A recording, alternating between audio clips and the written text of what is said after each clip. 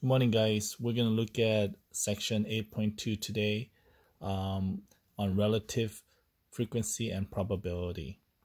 Uh, first, you need to know what uh, relative frequency is. Uh, today, we're going to look at uh, two column or two column uh, frequency. So we're going to look at this example right here. Uh, you're going to have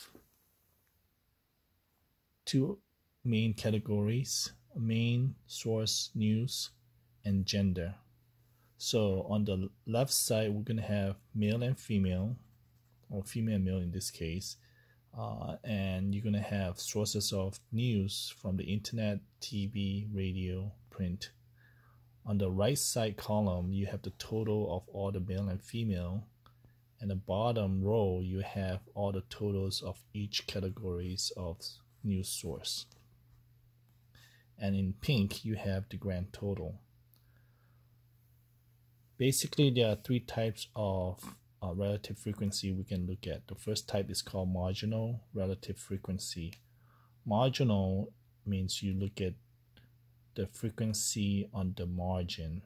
So on the table, margins usually talking about the one that's furthest on the edge. So you're talking about the bottom row and the right column so the blue and the yellow. So in this case if you look at this it says what is the marginal relative frequency of people get their news from TV so basically you look at the total TV which is 13 divided by the grand total which is 50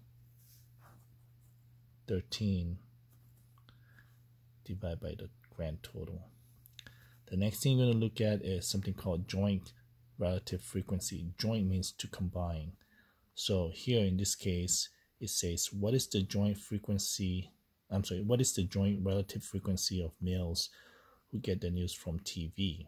So it has to be male and it has to get the source from TV.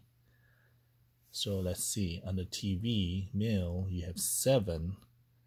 So it'll be 7 out of the grand total of 50 that's joint relative frequency. Anything in green divided by the grand total, which is in pink or red.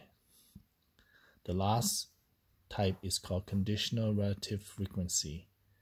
Here, you're looking at certain condition. The condition is you have to be male and TV, but it has to be in the condition of only TV source. So how do you know? Let's read the question.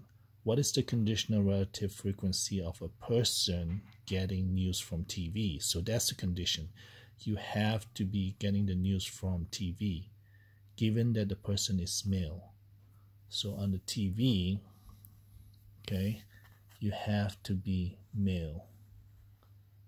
So on the TV, you have to be male.